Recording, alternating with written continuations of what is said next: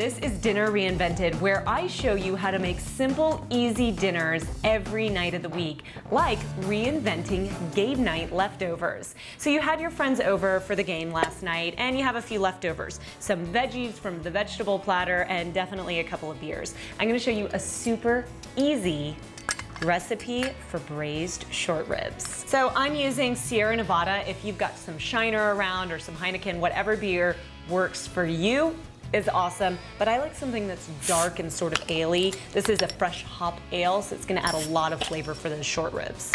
If you had friends over for the game, you wanna do this the night before you're ready to eat dinner. Then let it cook all day, and when you get home, you're gonna have dinner on the table in a second. I have half an onion, but if your onion is small, you can use a whole onion. And it doesn't have to look beautiful. This is all gonna saute and almost fall apart. It's cooking for so long. So if it doesn't look beautiful or perfect, no problem two garlic cloves. Not even gonna chop them, I'm just gonna drop them in whole. And over here, I have my aromatics, some rosemary and some thyme. Ah, that smells so good.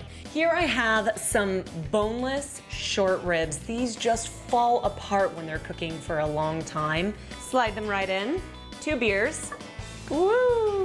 What else is nice is if you had a couple of beers that you opened and nobody got a chance to drink, you can use those beers, doesn't matter if it's flat or not. I'm gonna give a little squeeze of some ketchup. If you have tomato paste, that would work fine too. I like using ketchup because it also has a little bit of sugar, so that sweetness balances out that kind of salty flavor of the beef broth and the beer. It doesn't look like much now, but after several hours braising in the crock pot, this is gonna be one delicious meal. So I'm just making quick grits, just like the back of the box says. But instead of doing just water, I like to do half and half, water and milk. It adds a lot of richness and silkiness to the grits. Now to finish these, what I like to do is add a little bit of good cheddar cheese. This is an aged cheddar from Scardello's. Ooh, that smells good. And then here is our braised short ribs. Doesn't that look delicious? It's so tender that that meat is almost falling apart. All right, let's dig in. Mmm. Game night leftovers have never tasted so good.